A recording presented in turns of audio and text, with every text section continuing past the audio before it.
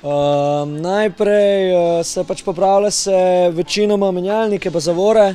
Veliko je tudi eh, recimo zračnosti v eh, krminih ležajih, pač so največje napake, ki jih imajo, pa kakšen rečemo zvit menjalnik. Um, obiske je pa kar veliko, no, po mojene, vsake po mojene 15-20 koleže naredijo, tako da je krno.